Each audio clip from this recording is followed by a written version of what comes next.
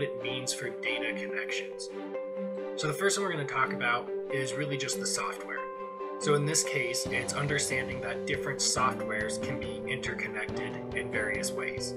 In some cases, some software does come already connected.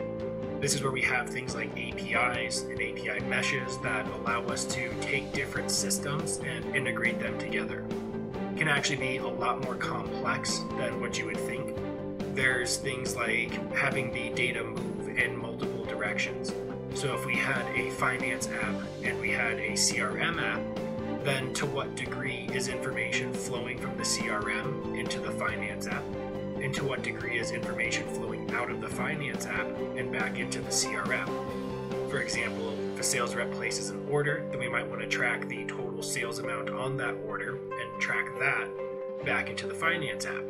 If there's any type of refunds or maybe issuing of invoices from the finance app, maybe we want to port those back into the CRM app. So we need to build out the logic for connecting all of those. That means basically doing what we can to get those to communicate with each other and then understanding what different entities or tables or data we would need to make that connection happen. There's other things like applications like Tray.io or Zapier Power Automate that can also help some of these apps connect if they don't already natively connect.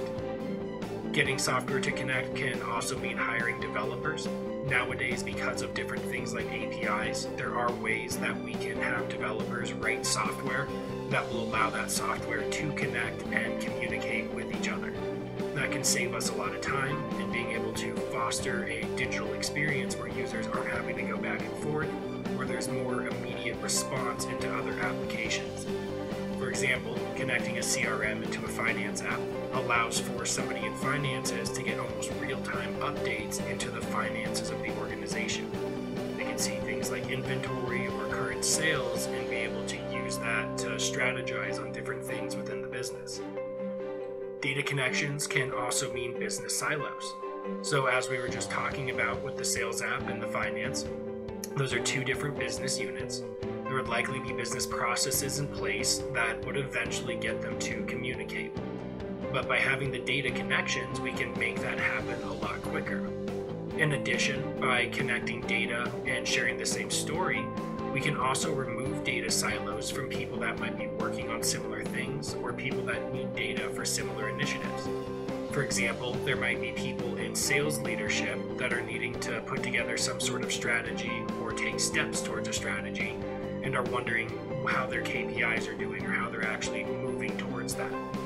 By having the data there, then they can get an idea with that. But the thing is, is what they're trying to do might also be what somebody in marketing is trying to do. And in a lot of cases, those different groups might not actually communicate as strongly as you would think. But by allowing them to communicate and connect via data and allowing that connection to exist, then we can give them one set to reduce that sense of miscommunication essentially and make it so it's easier for different business units to work together and see what's going on in different units and how they're impacting each other. So, with that, we need to consider data connections and the needs of the different stakeholders. Know, what does one stakeholder need to see and when? For example, if somebody is placing orders and they're not able to see how inventory is changing, then that's going to cause a disruption in their sales flow. They might need to reach out to somebody in a warehousing or inventory situation in order to get information on if they can fulfill a sales order at the time that their client would want to. But if we set up the data connection and it's in real time compared to what's actually stored in the warehouse, then the sales user would be able to see in almost real time what they can do and how they can fulfill different orders And in fact, there are some apps that do this, that make that type of connection possible, and even let sales reps know based on all kinds of factors of what's going on in the business at what time they would be able to fulfill a different order. And then there's also security we're looking at different connections. So we want to make sure that the connections themselves are secure. So we want to look at how the data is being routed. We want to know if there's different ways that that data could be compromised.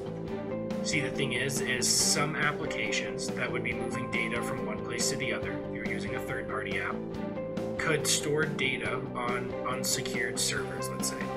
And if somebody were to go in and hack those servers, then subsequently they would have access into your data. Other connections involved, they might be able to use that to dive a lot deeper into your data or even take over and do malicious things to the company. But if we're able to secure it and make sure that it's well protected and make sure that the people that have access to who needs to have access have access, then we can secure that a bit better and regulate what's going on within the connection. And that way, too, we can also make sure that people shouldn't have access don't have access. That's the other thing, is sometimes users might be able to go in and set up a connection into a system. And by building out that connection, they might be able to pull out data that the company may not want them to have access to. But if we can secure that data, then we can make it so when that connection is put in place, that users are still only seeing the data that they need to, and at the end of the day, protecting the organization. So now we're going to move to the next section where we'll talk about data and what it means for data to be stored in the cloud.